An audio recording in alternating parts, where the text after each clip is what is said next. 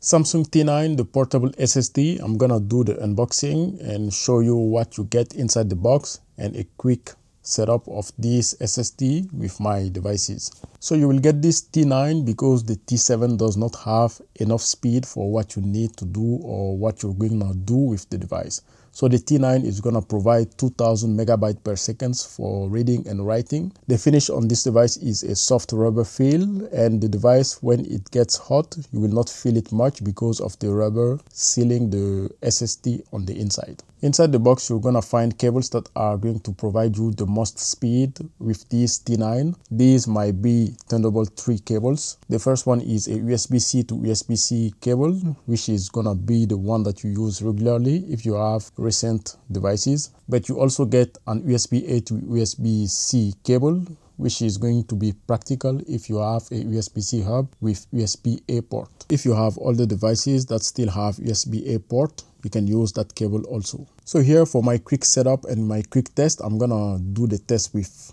smartphones. This is the iPhone 16. So if I plug the T9 on the iPhone 16, it works directly. There is no need to configure anything. The device is simply gonna work with the iPhone 16. So this is the same for any iPhone with USB-C port. You can see with this one I have 4 terabyte of memory left on this T9. It doesn't have anything inside. And here's the iPhone 15 Pro Max and also here it does work and show up inside the file application. So at least with the T9 we know that 4 terabyte the maximum memory that you can get on this device is going to work with your iPhone devices. Previously I had done some tests with 4 terabyte memories which did not work. But with this one, the T9, it does work. And here is the Galaxy Z Flip 6. Here also I was able to access the inside of the Samsung T9 and it does work also.